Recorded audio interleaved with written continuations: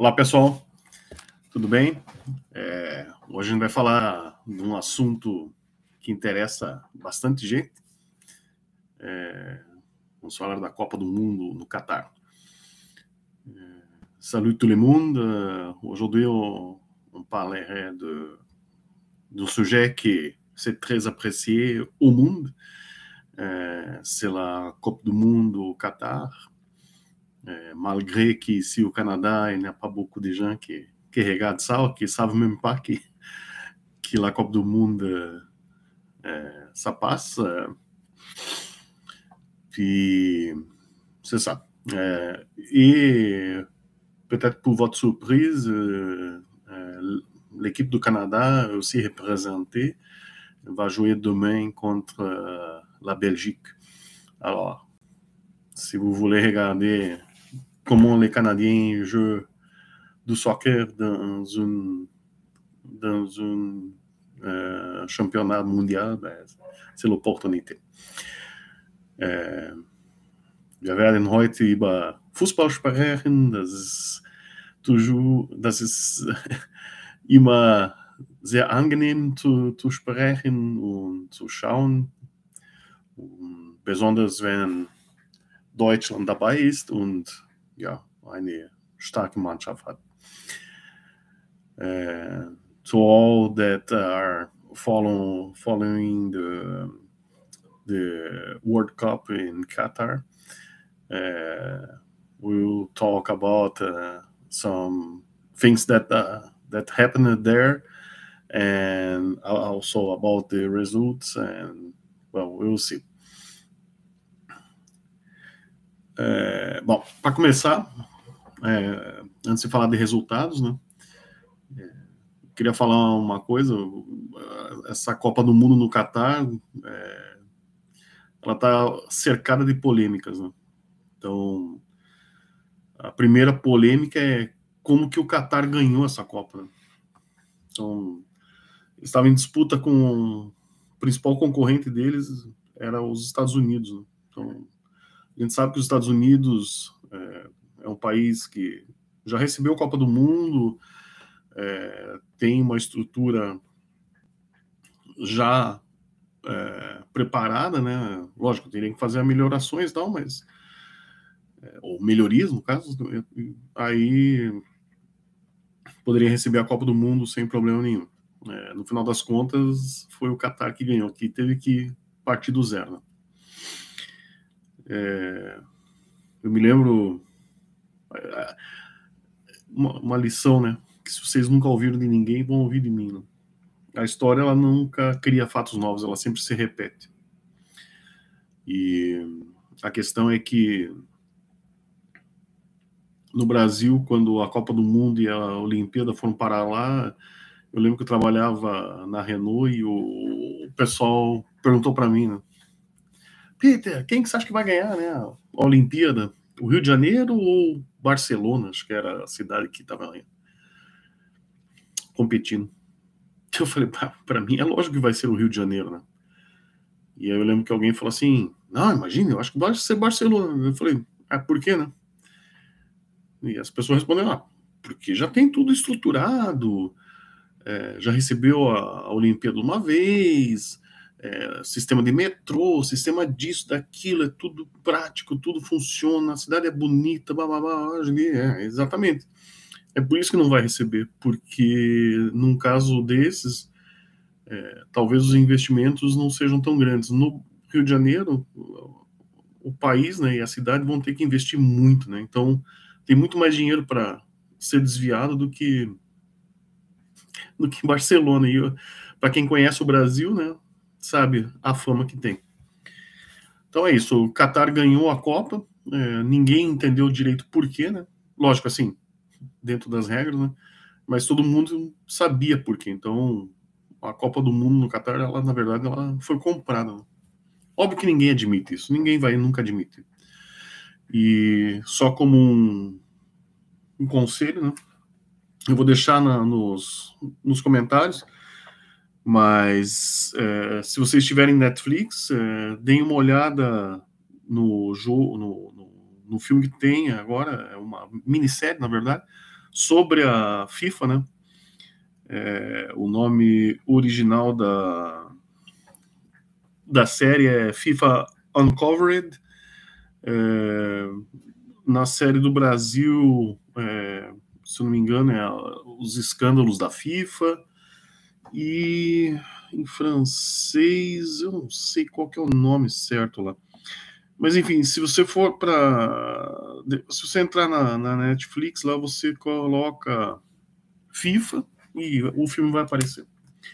E lá eles contam como é que começou essa bagunça toda, não só com o Qatar, né, mas outras, outras Copas, desde o presidente João Avelange, que era brasileiro, e daí o, o Sepp Blatter, que era o Josep Blatter, que era o depois o presidente que assumiu o cargo e até chegar hoje, não, nem sei mais quem que é o cara hoje. Tipo, me desinteressei bastante por, por certas coisas do futebol. E, bom, então essa, esse é o primeiro escândalo, tipo, essa compra da, da Copa do Mundo pelo Catar.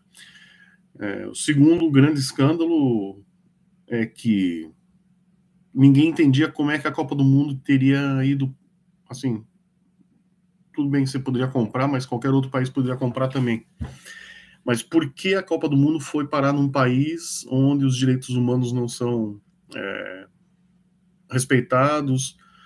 As mulheres são consideradas é, como cidadãos de, de segunda classe, enfim, questão de da homofobia é muito grande. Então, tinha tudo para ser um ambiente inóspito, né, para receber a Copa do Mundo. E mesmo assim, ela foi lá. Vejam o, o documentário, é bem interessante. E o terceiro grande escândalo dessa Copa foram as mortes, né, nas construções dos estádios, né? Não só dos estádios, mas de tudo o que cerca. É, só para vocês terem uma ideia, eu não tenho os números direitinho, direitinho, assim, mas depois eu coloco os links no, no comentário, vocês vão poder ver com detalhes. É, isso é tudo de assunto público, tá? Não, não, provavelmente vocês já devem ter ouvido falar. A questão é que em outras Copas do Mundo também morreram pessoas, mas vamos dizer, sei lá, no Brasil morreram três pessoas durante as construções. É, na África do Sul morreram, sei lá, quatro pessoas no Catar, eles estão falando de em torno de, sei lá, de 3 mil a 5 mil mortes, né? Lógico, como eu falei, ninguém vai assumir isso, ninguém vai admitir isso. Então, assim, é uma coisa extraordinária, né? É um, um absurdo. E muitas federações hoje, né, como inclusive as, as federações europeias, estão é, como tentando protestar de certas formas, mas a FIFA está impedindo, né? Então tem a braçadeira de capitão que você usa e tem, eu sei que tem algumas seleções que queriam entrar com, com a bandeira é, do movimento LGBT e escrito, acho que é, One Love e a FIFA proibiu. Então, tipo, proibiu. Outra coisa que aconteceu um dia antes da abertura da Copa é que uma das maiores patrocinadoras do evento, a Budweiser, é, companhia americana de cervejas, né, foi proibida de vender cerveja. tipo, um ano, um dia antes da, do começo da Copa, eles foram avisados que eles não poderiam vender cerveja né, nos estádios e que, tipo, é isso. Então, imagino que e vão existir perdas aí, mas enfim. Bom, é, isso somente para terminar, a próxima Copa já é, em 2026 vai ser aqui em duas cidades do Canadá. Né? É, tem aqui a lista. Tinha. É, tem ainda. Deixa eu ver aqui. Tipo, ela vai ser feita em várias cidades no, nos Estados Unidos, Canadá e México. E no Canadá vai acontecer em duas cidades, em Toronto e Vancouver. Então, é na província de Ontário e província de, de Alberta. É, a maioria dos jogos, obviamente, vai ser nos Estados Unidos, né, porque, afinal de contas, a estrutura é melhor e com certeza eles estão pondo mais dinheiro. E no México vai ser em uma, duas, duas cidades também. Guadalajara e Cidade do México. Ah, não, em Monterrey também, três. Duas no Canadá, três no México e acho que 14 nos Estados Unidos. Então é isso. E, obviamente, né, falando dos resultados do dia, hoje a Argentina perdeu para a Arábia Saudita de 1 a 0, né? É, 2 a 1, desculpa. Tava ganhando de 1 a 0, gol do Messi pênalti e acabou tomando a virada de 1 a 0. Então, resultado assim surpreendente. É, outros resultados o, da mesma chave, o México e a Dinamarca. Dinamarca? Agora não. Não, México e. Puta, não lembro mais quem que jogou com quem. Dinamarca e Tunísia.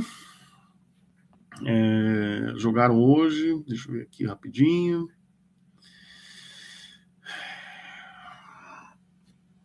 Dinamarca e Tunísia deu 0 a 0 México e Polônia. Polônia, Polônia. Lewandowski perdeu o pênalti. É, 0 a 0 e agora a campeã, atual campeã do mundo, a França, ganhou de 4 a 1 é, da Austrália. Então, assim, começou perdendo o jogo de 1 a 0 né? Eu achei que, que, a, que a França ia passar o mesmo drama da Argentina, mas infelizmente não foi o caso. Bom, é isso então em português. Agora vou começar em francês. É, salut tout le monde. Vous savez que la Coupe du Monde est en cours là. Et bah, je ne sais pas si vous savez, mais euh, moi j'aimerais parler de quelque chose avant de parler de de, de, de match là, de, de la Coupe.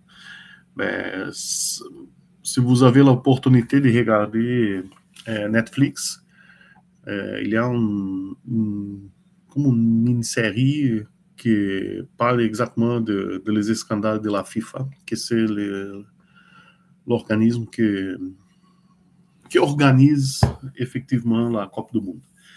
Euh, c'est pas seulement euh, de l'effet actuel, mais ça vient depuis la présidence de, de Jean Avelange, qui c'était le président brésilien.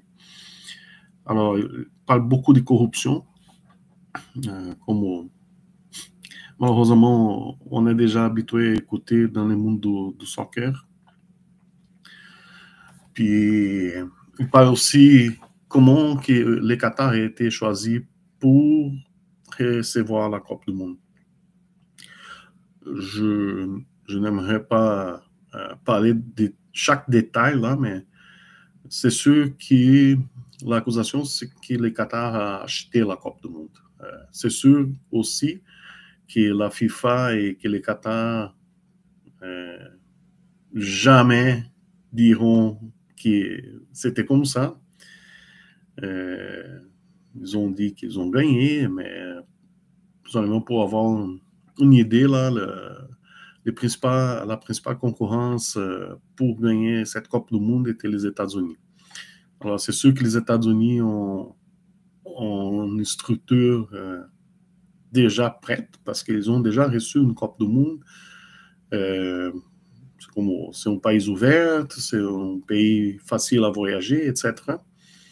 Et qui respecte euh, les droits euh, humains euh, d'abord, chose que le Qatar ne fait pas, alors ne respecte pas les droits des femmes, de la communauté LGBT.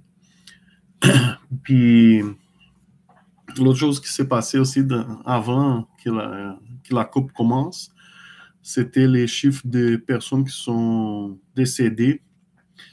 Et ça, c'est public, là, vous savez, ou peut-être que vous avez regardé ça dans les euh, médias, que disons, au Brésil, quand la COP était là, deux ou trois personnes ont, sont décédées. À l'Afrique, peut-être aussi, deux ou trois personnes. Et il y a une liste là que j'ai regardé de, de, chaque COP du monde, de combien de personnes qui sont décédées pendant la construction des, des stades, etc. Puis le surprenant, c'est qu'au Qatar, euh, les chiffres ont monté entre 3 000 et 5 000 personnes qui ont perdu sa vie dans la construction principalement des stades. Mais ce n'est pas seulement les stades, parce qu'il n'y avait rien en fait. Là. Euh, bon, comme je dis là, euh, Netflix, je vais laisser euh, les liens dans les commentaires, vous pouvez regarder ça.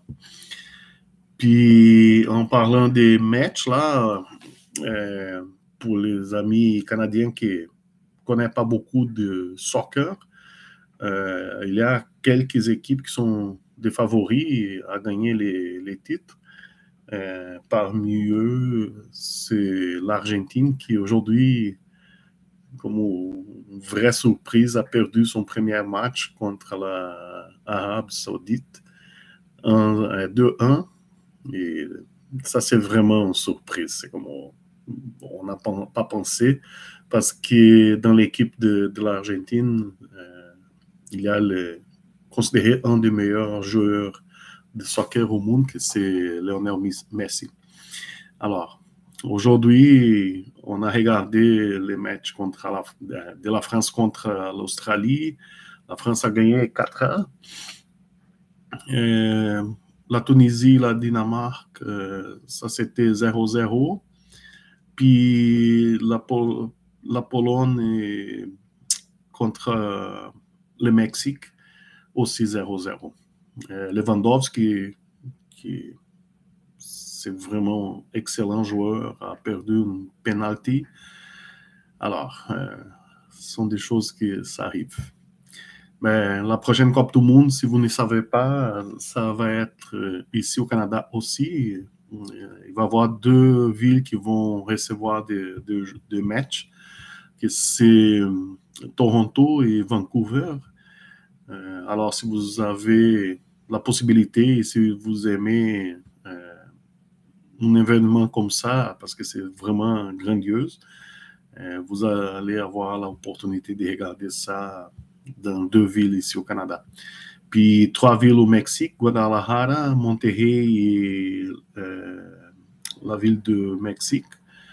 Et les restes, je pense que sont 14 villes aux États-Unis qui vont recevoir les restants de, de matchs. Alors, c'est pour le continent, euh, pour l'hémisphère nord, ici en Amérique, une, très belle opportunité. Et vous avez quatre ans encore pour économiser d'argent pour y aller regarder les matchs. Là. Okay. Also, die Weltmeisterschaft hat angefangen. Äh, ich habe schon früher gesagt, äh, dass äh, man über nicht nur über die, die Spiele sprechen äh, äh, wollte, sondern auch was passiert ist äh, vor dem Weltmeisterschaft. Und es gibt beim Netflix eine Serie qui s'appelle FIFA, Corruption à FIFA. FIFA Under Uncovered. c'est ist das Original auf Englisch. Je ne sais pas comment, ich weiß nicht, wie, wie das heißt auf, auf Deutsch, parce que, weil keine Ahnung, was, was das auf Deutsch heißt. Also, aber wenn Sie auf Netflix gehen und einfach FIFA eingeben, dann wird wahrscheinlich das äh, vorkommen. Ähm, Deutschland spielt morgen äh, gegen Japan und also ich gehe davon aus, dass die, die, die das Spiel äh, gewinnen werden. Äh, auf, auf, alle Fälle drücke die Daumen für die deutsche Mannschaft. Äh, eigentlich sind, äh, sind die auch äh, sozusagen die Favoriten. Äh, nur muss man auch den Beispiel von Argentinien heute zuschauen und nicht das als zu leid nehmen und also wirklich so richtig spielen und das werden die schon machen. Äh, also wie gesagt, Argentinien hat heute gegen äh, Larabi äh, verloren. äh, 2 zu 1 und das ist also eigentlich, eigentlich traurig für Messi, weil, naja, er hat noch nie eine Weltmeisterschaft gewonnen und also das ist wirklich kein guter Start für, für Argentinien. Äh, Frankreich hat gegen Australien heute 4-1 gewonnen, also die sind die, die aktuellen äh, Weltmeister. Und also ich, ich glaube, das ist ein sehr guter Start für die Franzosen. Und England hat auch also sehr gut gespielt und eine sehr gute Leistung äh, gezeigt. Wir haben 2-2, äh, 6-2 gegen hm, gegen wem haben die gewonnen? Gegen Iran. Also das, das sollten die auch machen. Also Iran ist keine gute Mannschaft, die sollten auch das wegputzen, wie, wie man in Deutschland sagt. Ähm, also, das ist alles. Äh, nächste Weltmeisterschaft äh, wird hier auch in Kanada stattfinden und Kanada, Mexiko und äh, USA.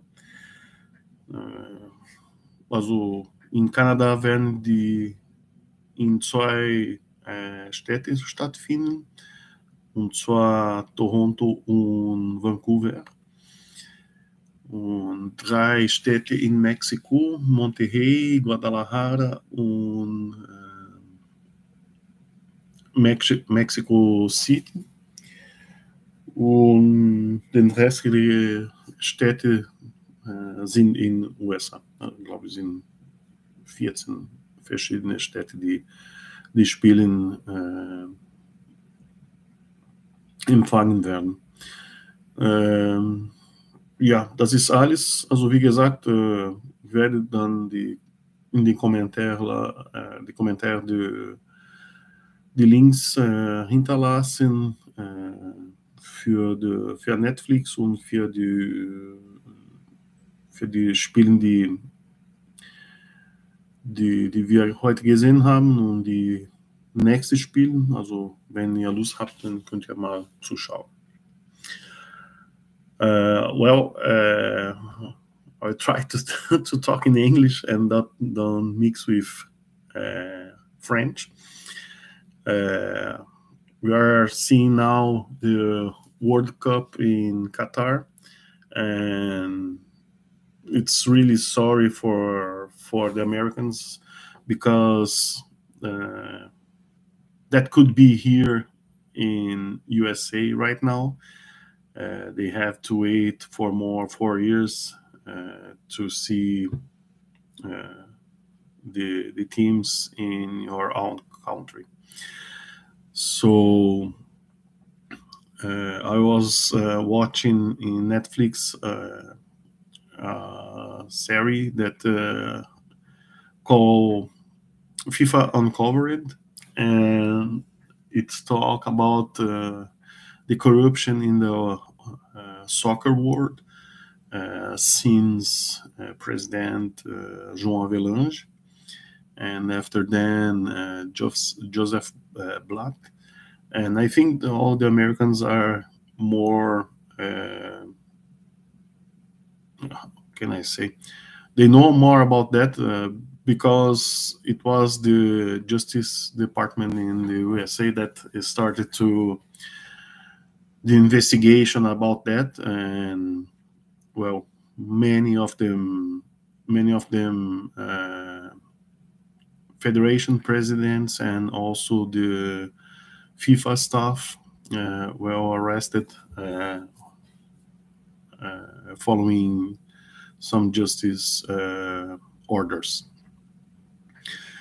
uh, talking about the the World Cup uh, itself, uh, we saw today Argentina that is a big favorite to to win the the cup. uh, losing against uh, Saudi Arabia, and that's a really big surprise. Uh, and well, we'll see what is next to come because they will play against Mexico next turn. So not easy. It's not easy to them to to classify for the next uh, for the next round. Um,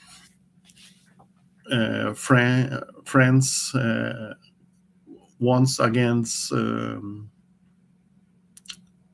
Australia, four to one, and that's uh, really a big and stark start for the for the French. And well, we'll see what is what will happen next. Uh, of course, Australia is not a a very big uh, uh, team in the World Cup, so maybe it's it's normal that they lost uh, large like that. Uh, well, that's it. Uh, I hope you enjoyed. And as I said, I will let the the links for some uh, connection to the FIFA World World Cup, and also for Netflix to see in details uh, what is how how Qatar won this World Cup. Well, that's really interesting. And so, as I said, it's a mini series with four um, four chapters, and it's not so big. So if you're interested, maybe you can see and take your own conclusions. Well, thank you very much for watching, and see you next time. Obrigado, pessoal. Até a próxima. Merci beaucoup. À la prochaine. Uh, Dankeschön. Bis zum nächsten Mal. See you.